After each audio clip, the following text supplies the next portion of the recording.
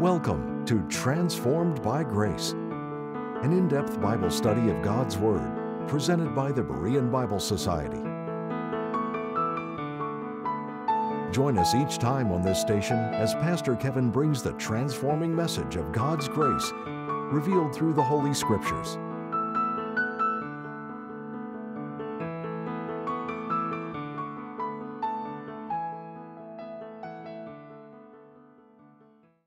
Expert on the subject of time management was once speaking to a group of business students. After speaking to them for a while, he said, Okay, it's time for a quiz. He set a one gallon wide mouth mason jar on the table in front of him. Then he produced about a dozen fist sized rocks and carefully placed them one at a time inside the jar.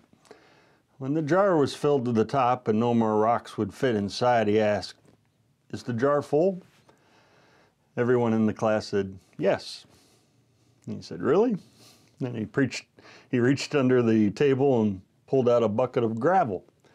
He dumped some gravel into the jar and shook it and caused pieces of gravel to work themselves down into the spaces between the big rocks. Then he smiled and asked the group once more, Is the jar full? By this time the class was onto him. One of them said, Probably not.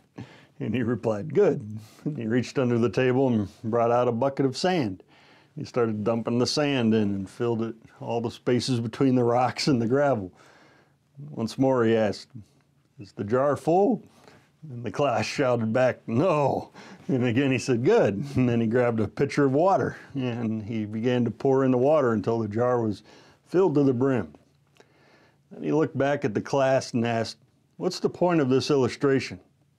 One eager student raised his hand and said, The point is, no matter how full your schedule is, if you try really hard, you can always fit something more into it. And the speaker replied, No, that's not the point. The truth this illustration teaches us is if you don't put the big rocks in first, you'll never get them in at all. What are the big rocks in your life? What are our priorities? The Lord told Martha, I hear about one thing that was needful for her. And it's one thing that is needful for each of us, and that is to spend time with the Lord, to sit at His feet and listen and hear His word and learn from Him. Luke 10 38 to 39 reads Now it came to pass, as they went, that he entered into a certain village, and a certain woman named Martha received him into her house. And she had a sister called Mary which also sat at Jesus' feet and heard his word. In our Lord's travels with his disciples in his earthly ministry, he stopped here in a certain village. John 11:1 1 teaches us what village that is. Now a certain man was sick named Lazarus of Bethany, the town of Mar- Mary and her sister Martha. Bethany was 2 miles from Jerusalem on the eastern slope of the Mount of Olives. Within this home in Bethany lived the siblings Martha, Mary, and Lazarus. John 11:5 says of these three, "Now Jesus loved Martha and her sister and Lazarus." Mary, Martha, and Lazarus were close to the Lord, some of his dearest friends in his earthly ministry. Following the raising of Lazarus from the dead, John 12 records that the Lord returned to this home to visit and to eat supper with them again. And in that record, Martha was once again serving the meal, and Mary was once again at the Lord's feet. And in her rightful worship of him at that time, she poured out a very costly ointment on his feet and wiped the excess with her hair. Here in Luke 10, the Lord was gladly received into Martha's home with kindness and hospitality. And that begs an obvious question Is he welcome? Is he gladly received in our homes? Each of our home and the lives that we lead within them, each of our families need the Lord. He is needed in each of the relationships within the home, between the husband and the wife, between the parent and the child, between the brothers and the sisters. His love, His patience, and His grace is what is needed in and for a godly home. And the Lord desires to be at the center of our home and welcome there, and for His instruction from His Word to be how our homes are led and guided. The Lord entered Mary and Martha's home and He sat down during His visit. visit. When He sat, Mary sat too at the Lord's feet to hear His Word.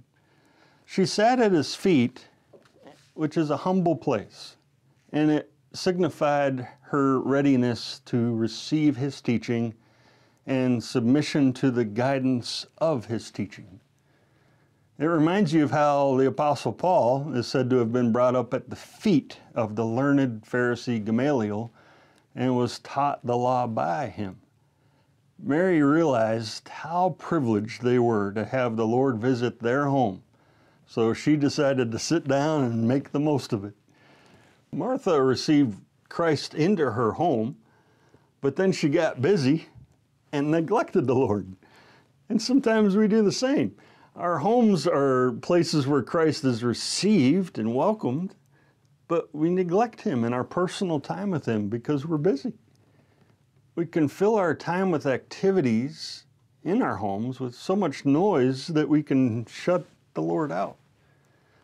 But the Lord wants us to remember Him. He cherishes our attention. He wants us, like Mary, to sit at His feet and hear His word too.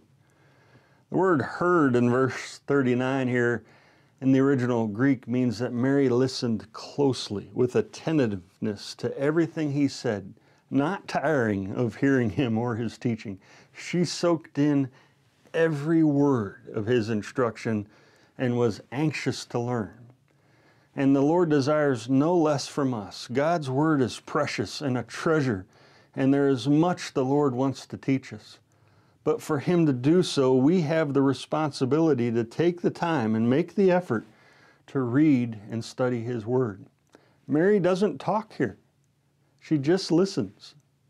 And we need to do the same with His Word, that we, with an open mind and an open heart, that we listen to Christ's words, quietly take it in and learn. In his book, Thinking Fast and Slow, Daniel Kahneman uses a simple puzzle to show the importance of slowing down and paying attention. Kahneman writes this Listen to your intuition with this puzzle. A bat and a ball cost a dollar and ten cents. The bat costs one dollar more than the ball. How much does the ball cost? Kahneman writes that most people come up with a quick answer 10 cents. The distinctive mark of this easy puzzle is that it evokes an answer that is intuitive, appealing, and wrong. Do the math, and you'll see, he writes. If the ball costs 10 cents, then the total cost, with the bat being $1 more, would be $1.20. 10 cents for the ball and a dollar ten for the bat, not a dollar ten. The correct answer is five cents. If you got the puzzle wrong, don't be discouraged, he says. According to Kahneman's research, more than 50% of students at Harvard, MIT, and Princeton gave the wrong answer. At less selective universities, over 80% of students failed the puzzle.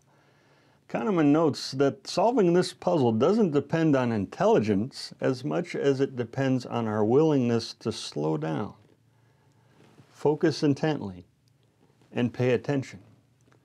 Kahneman's research proves paying attention often doesn't come naturally to us. We have to work at paying attention.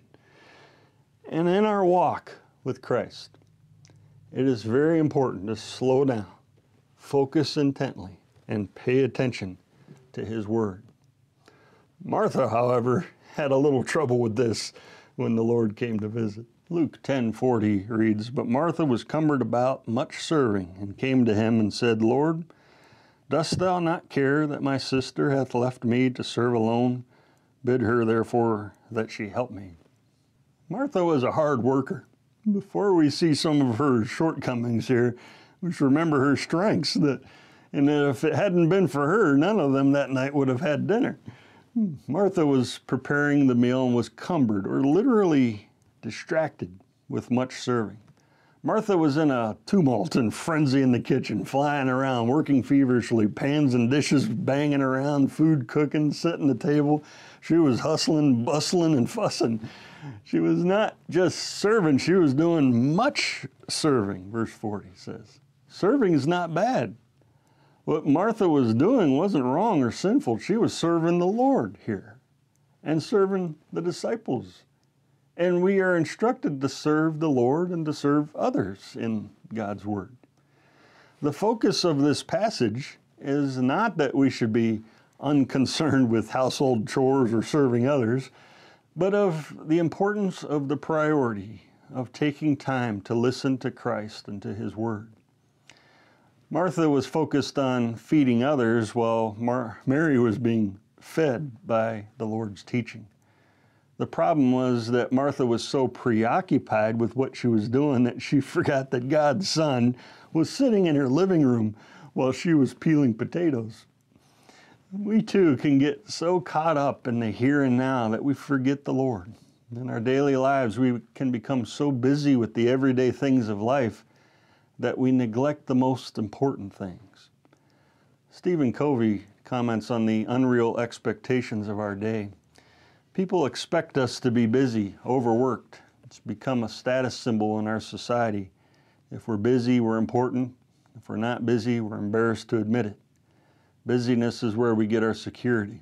It's validating, popular, and pleasing. It's also a good excuse for not dealing with the first things in our lives. Busyness can cause harm to the important things of our life. Our marriages and our families can suffer. And most of all, it can leave no time for our personal relationship with the Lord.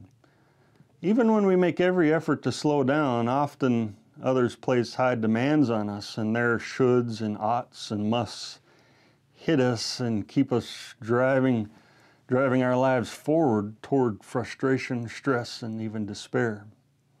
How to take control of our busy lives often does not have an easy answer. And life can get so stressful that we end up living for no higher purpose than just getting through a day. One person once said, I try to take one day at a time, but sometimes several days attack me at once. But unless we take time to spend with our Lord, we will soon end up like Martha, busy but not blessed. We need to be fed the Word and to grow in Christ and His grace to be transformed by grace. And so we need to prioritize our relationship with the Lord and watch for distractions. So we might, like Mary, make time to hear His word where there is true joy and blessing. We'll be returning to the program in just a minute. But first, we'd like to take this time to thank you, our partners, for making these programs possible.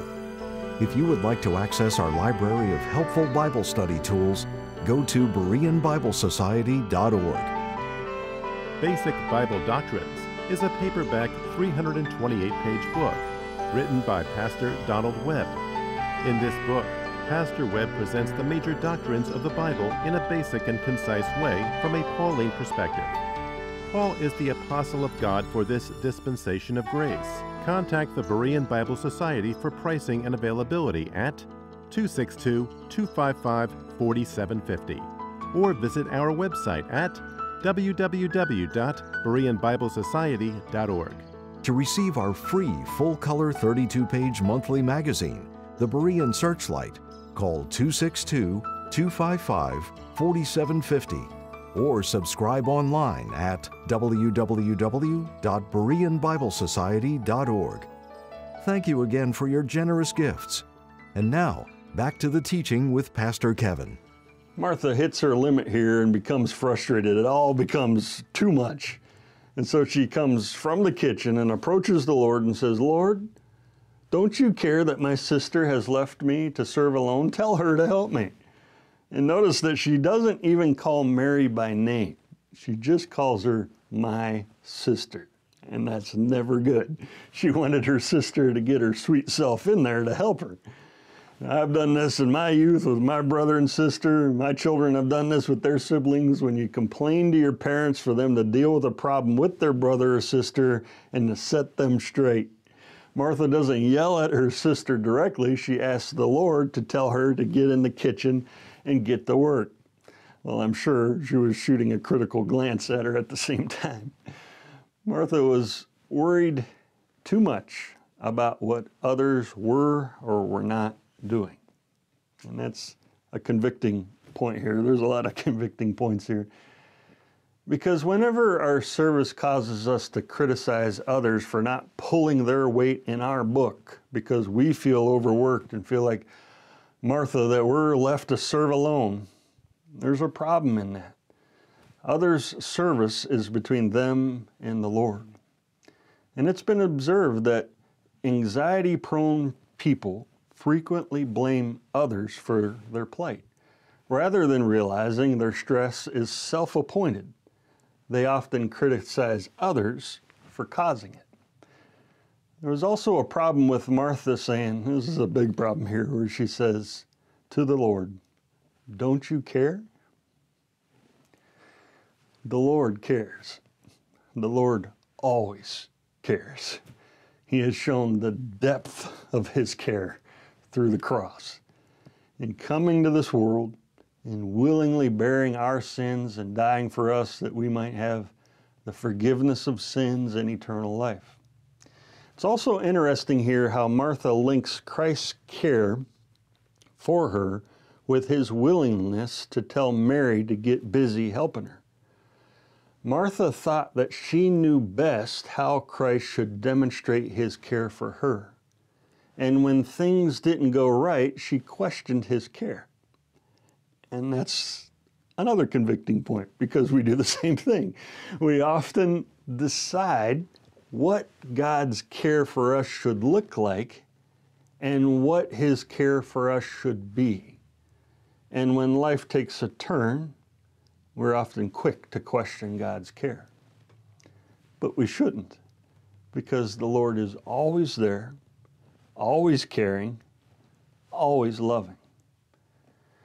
This account teaches that there are two parts to the believer's life, and we are all much more prone to be a Martha than a Mary.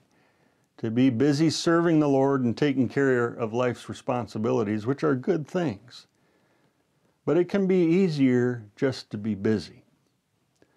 But for our good, for our spiritual good, we need to be like Mary as well taking time to listen to the Lord, to His Word, grow in our personal relationship with Him, which also takes time and is a needed thing, as the Lord points out here. Martha was a woman of action, Mary was a woman of quiet reflection. Martha's priority was serving Christ and others.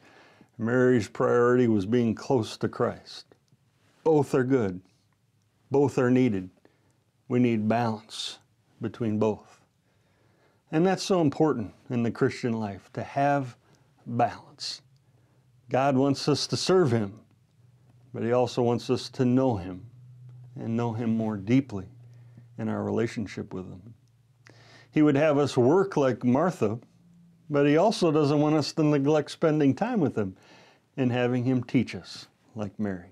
Luke 10 41 to 42 reads, And Jesus answered and said unto her, Martha, Martha, Thou art careful and troubled about many things, but one thing is needful.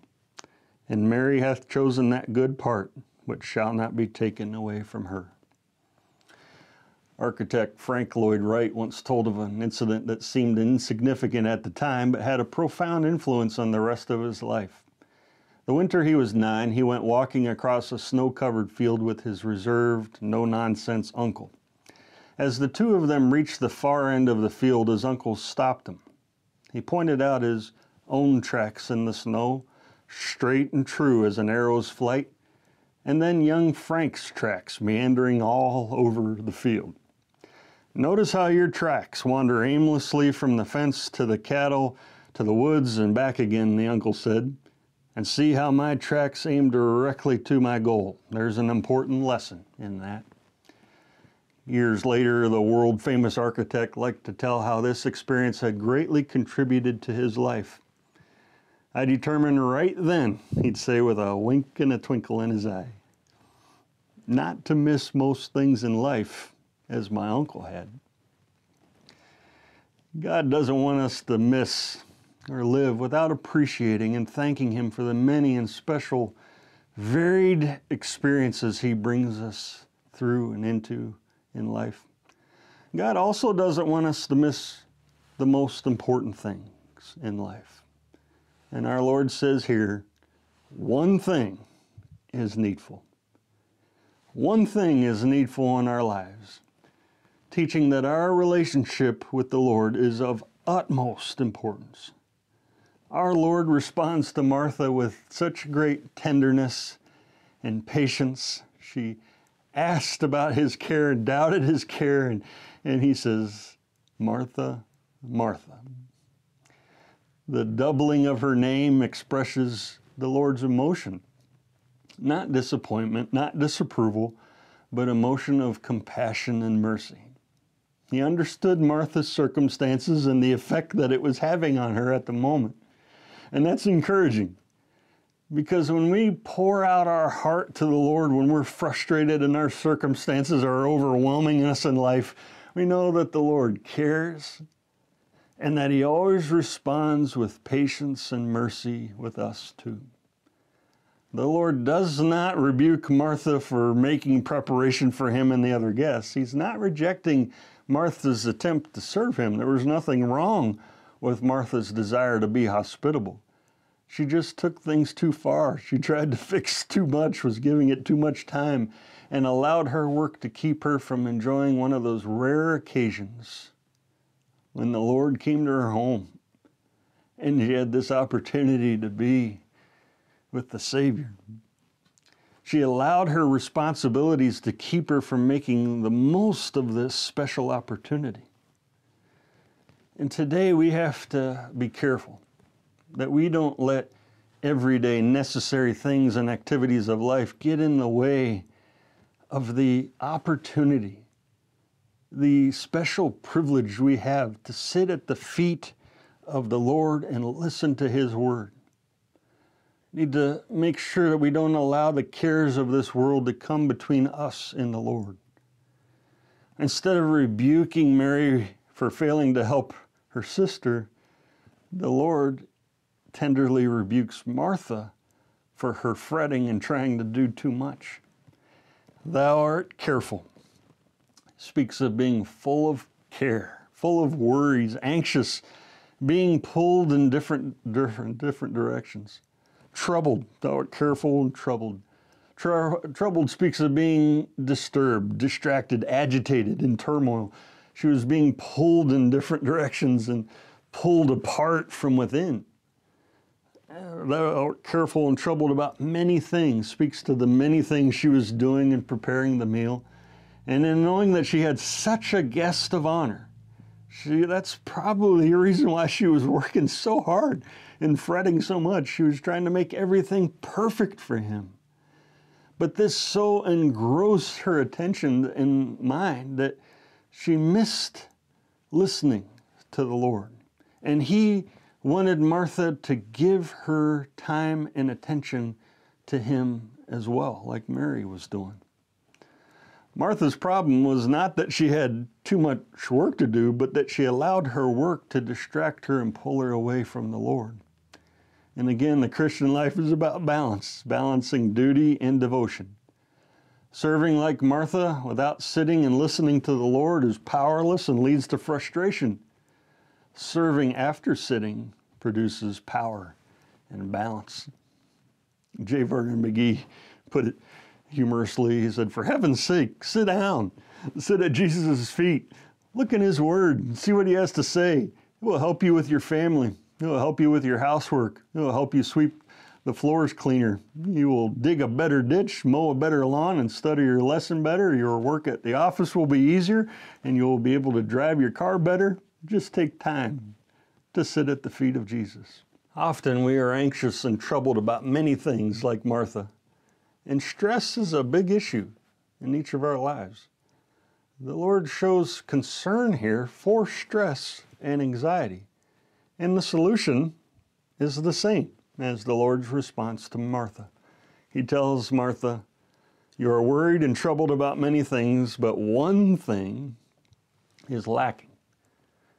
Martha, you are anxious and bothered about so many matters, but you are neglecting the most important matter. You're neglecting the Lord, taking time to spend with Him, listening to Him and to His Word.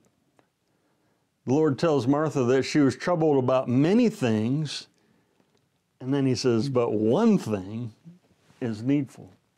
And Mary hath chosen that good part, which shall not be taken away from her.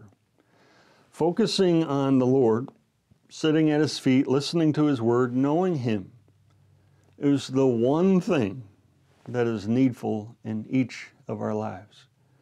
Rather than rebuke Mary for not helping her sister, Christ chose to praise her example.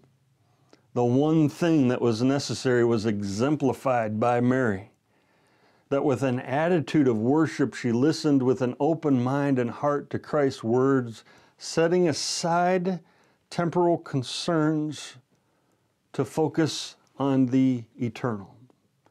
The good part is His Word in verse 39.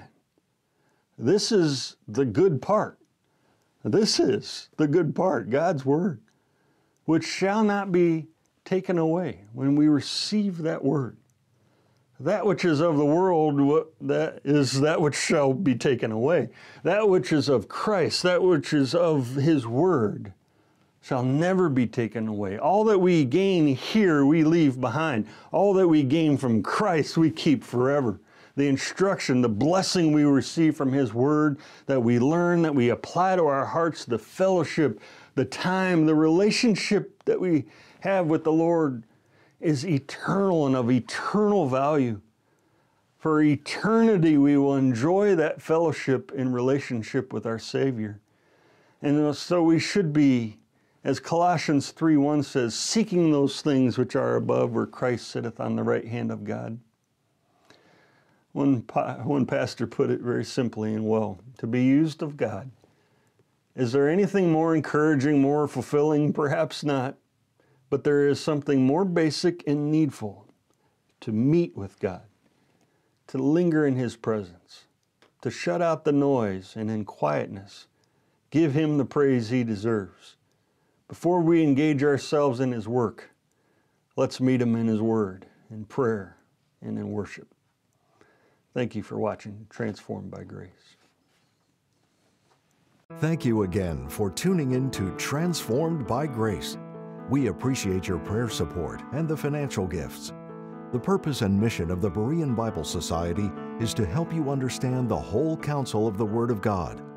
For more information, visit our website at www.bereanbiblesociety.org or give us a call at 262 255 4750. Or if you prefer, write us at the Berean Bible Society, P.O. Box 756, Germantown, Wisconsin 53022. Now, until next time, may you be transformed by God's grace.